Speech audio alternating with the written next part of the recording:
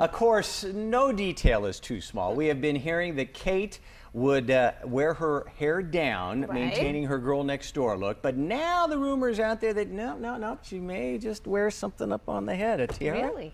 Yeah, Really? well, that's what they're saying. Well, uh, yeah, possibly Yeah, the Queen's tiara. That's it, not just any tiara. Yeah. Looks familiar, it doesn't it? wow. Yeah. That's the one that Queen Elizabeth wore in her wedding, so maybe we'll see that. Something uh, old and Friday something morning. borrowed. That's no? Just beautiful. need Yeah. something blue. Perhaps Sure. the blue sapphire ring. I think she's got That it all would Got the blue There you cover, go. right, right. While you're probably not going to be wearing the crown jewels at your wedding, you're likely going to be wearing a beautiful dress that you'll want to look fit and fabulous in. I think every bride is beautiful, but you do feel confident if you feel fit and fabulous. Yesterday we talked about wedding nutrition, and today it's all about your wedding workout. Yeah, and Kate Larson and I, we are both engaged. So we hit an in-home gym at the Alexan Midtown Apartments hmm. and found While overall fitness is important once you're engaged, especially if you're a future princess, most brides care about what shows in a wedding dress arms, shoulders, back.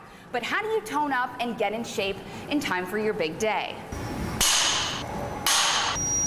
I would recommend low weights, high repetitions. Key ingredients to long, lean wedding muscles. I mean, I don't have any bulges. Think dumbbells, not bench press. You don't want to put on bulk, especially when you're going to put on your wedding dress. And certified trainer Cortney Christopher would know. She's engaged and she runs a bridal boot camp. You don't want to drop a ton of weight right away. You want to be able to gradually, if you want to lose weight, lose it.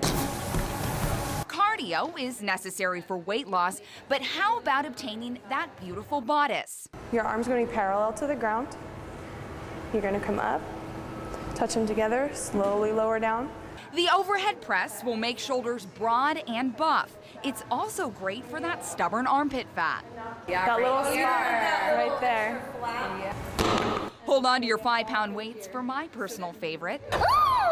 Alternating straight arm punches, the catch all exercise for biceps, triceps, shoulders, and upper back. Yeah, because this is too heavy. Rotate your shoulder, slowly bring it back. So we'll be doing five on each side.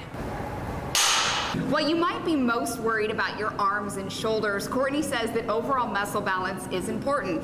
So the plank, while not so fun, is a great way to get flat abs, to look great in your dress, and that honeymoon bathing suit. Reporting in Sacramento, Kate Larson, News 10. Yeah, well, that plank was not easy. Actually, we were sore the next couple of days. You can really feel it there. You're su- I'm surprised oh, that just being in that position, but you could feel it in your abs. And if you want more of Cortney's wedding workouts, you can go to our website, news10.net. Kate, are you still doing those planks, my friend? Well, she's still smiling. I did one minute of planks yesterday, and that squeal you saw me do on the elliptical, when I saw the picture of Queen Elizabeth's tiara, there was another one of those. Oh, How fabulous was that? Oh, I've been stressing about what jewelry to wear for my own wedding. If only I could borrow some of theirs. I know, and those are real diamonds too. It's not like the rhinestones that, Oh. that we all wear at our wedding, right? Well, yeah, and it, it just goes to show we all want that princess fantasy. I mean, let's Mm-hmm. be honest. I'm Yeah. excited about Kate and Will's wedding on Friday. How about what the groom wants? The have the groom would same like name. his wife not to be so sore from having worked out for the last two weeks that she could maybe enjoy Well- the honeymoon well- night, you know? Dan, oh, Dan, Dan. Now, uh, um, you know that's actually a good point though you bring up because Cortney recommends the week before the wedding. Yeah. You tone down the exercise so Yeah. you can actually Please. make it down Okay. the aisle and uh, through your first night of marriage. Yeah.